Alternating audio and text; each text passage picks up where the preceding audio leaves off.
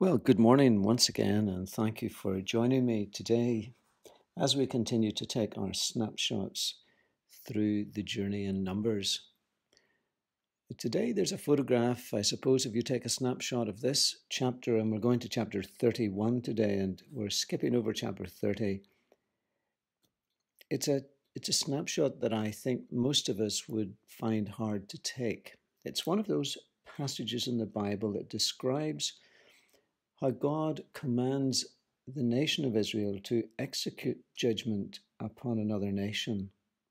It involves the death of men, women, and children, even livestock. It's often been used as one of those chapters to accuse God of being unjust, and some people use it as a reason for rejecting God altogether. Many from an atheistic community will cite sections of the Bible like this as a, a good example of how God is just a great tyrant. And yet, when we start to look at this passage, I think it needs that more thoughtful and more uh, quiet, serious consideration. Yes, of course, that is the truth that here is a situation God commands and Moses to do something. He says in verse 2 Avenge the people of Israel on the Midianites, and then afterwards you shall be gathered to your people. And so what happens is that um, Moses he gets a thousand men from each of the twelve tribes. They form an army. They go and they kill all of the male people. Verse seven. They warred against Midian as the Lord commanded and killed every male. They killed the kings and the people took captive a number of others, and then, of course, then they are commanded to kill even some of those, the women, uh, not the young girls, but the woman. And uh, this, when you read it, immediately, you know, your thought is, whew, this is really, this is a hard picture to watch. This is painful and difficult. One of the things I want to say is that sometimes it's not easy to find an answer that satisfies every single question, maybe, that people have, or every single criticism.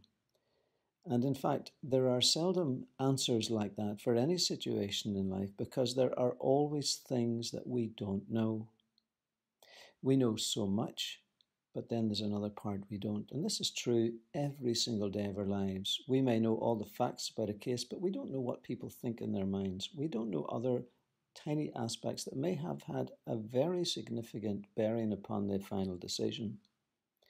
And so, with that in mind, I'm going to offer you a few explanations or a few thoughts on this, because that's what they are to allow you and I to think about it, read it through again, and pray it into our lives. First of all, I'm going to ask you a question. How seriously do you and I take sin? How seriously does our nation take sin? I think the answer might be very selectively. You could list the sins from the greatest to the least, and you could ask other people to do the same. You could ask different nations to do that, and you'll get a very different list but I think you will get a list nonetheless. The list changes from time to time, and then you would say to yourself, or I would say, now what will you do to those who are at the top of the list? And you'd be interested to see what will happen. If we could go back all the way to uh, back into the Second World War, which we're looking at as we're looking to the story of Corrie ten Boom, which kind of deals with the same question from another perspective, and you can tune into that this evening at after six. But take the situation of the Holocaust and what's happening to the Jews. Now, there's a sin, genocide there. There's a sin of that. Now, what would you say we would do to those people? Would we just simply say, now, naughty boys, you mustn't do that? We'll put you in prison for a couple of years and then we'll sort of let you all go free. That's certainly not, that was not the response of any of the people at that time. They had the Nuremberg trials, and many people were executed. They were executed. I don't think there are many people around that time who said, "This is um, this is a bad thing. We totally disagree with this." That's not to say they found it pleasant. I'm sure they found it anything but pleasant, but they knew, I think, in their hearts, this is a sin that requires being dealt with seriously. Now, if you and I were then to ask God, What is your list of greatest sins? I wonder what you think He would say. When I go to the Ten Commandments, the moral law of God given for all mankind, written in human hearts, so that people know, and they are without excuse in that sense. God says the very first commandment is that you shall have no other gods, that I am to be Lord, to worship the Lord your God. I think the greatest sin is the rejection of God and his place the rejection of His Holy Spirit's gracious work in our hearts, so that it's called the unforgivable sin. That means by rejecting the work of the Holy Spirit, you cannot be forgiven because you need to receive that work in order to enter into that spirit of forgiveness.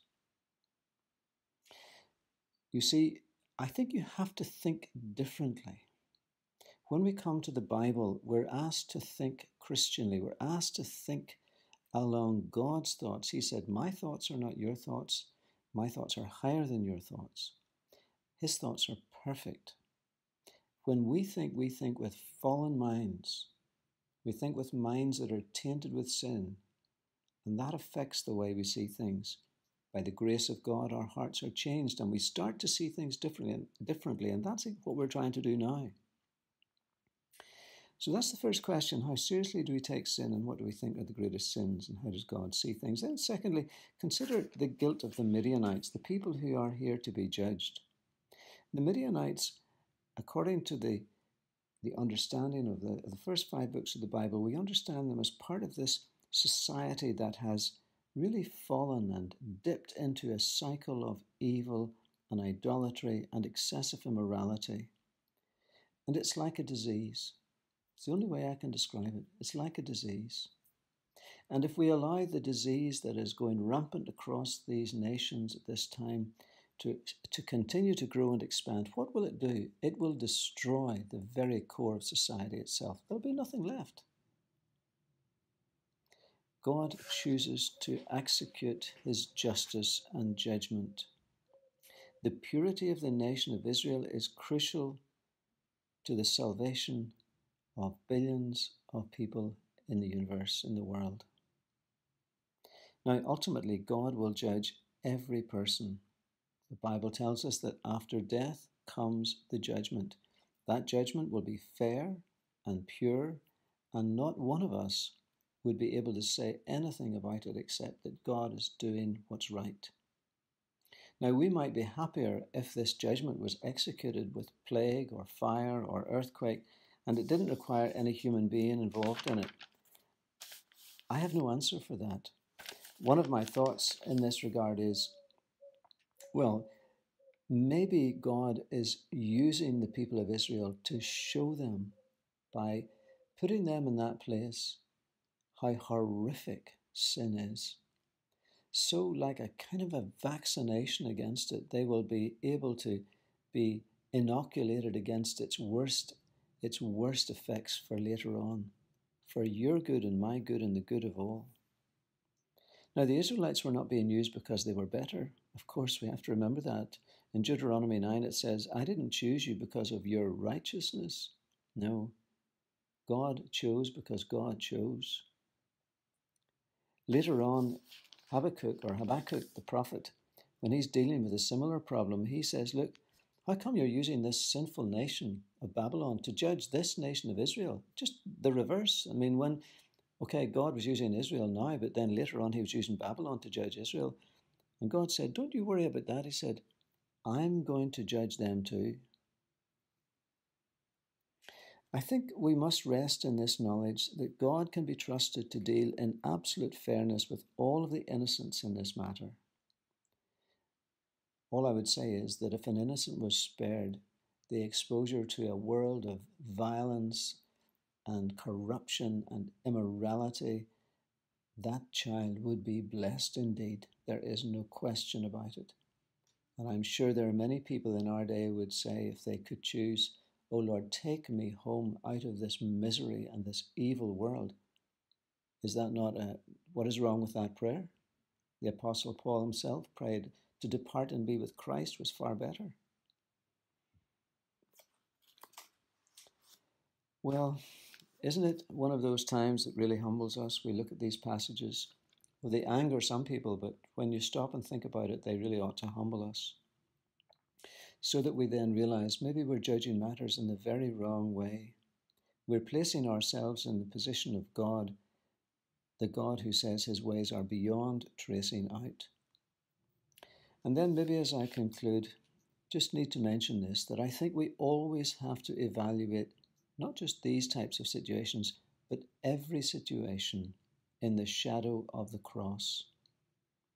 Because in that shadow, as it, as it, as it were, casts its light in another way over everything, it tells us how God deals with sin in its essence. There we see God's justice, absolutely, but there we see God's love. That's what we see perfect love and perfect justice.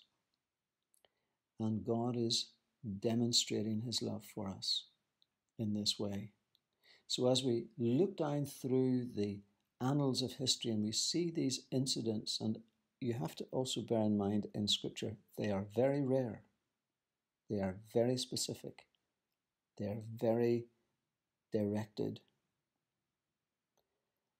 We have to look at them in the light of the cross in Christ's death. And we also have to look at them in the light of our own personal sin.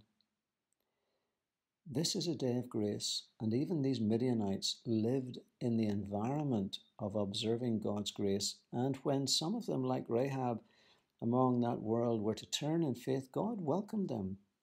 He would not have turned anyone away, it seems. We see that on many occasions in the Old Testament. But this day of grace is for you and I. Don't let our judgment of some things we think God did hinder us from thinking about the judgment that we deserve from God. And that unless we're running to the cross of Christ and finding ourselves hidden in Him, trusting in what He's done, it will be there for us. For we will have no other, no other for there is only, un, only one way out, and it's through Jesus Christ and his blood shed for us.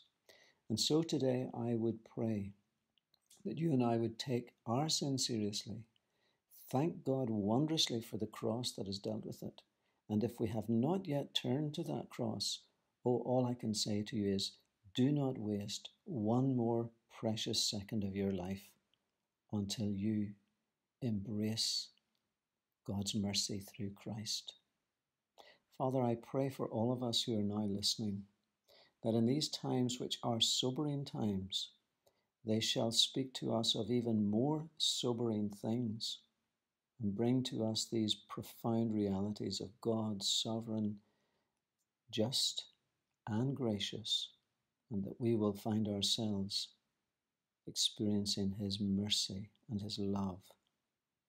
O Lord, open our eyes, the eyes of our hearts and be praised and watch over us this day, we pray in Jesus' name. Amen.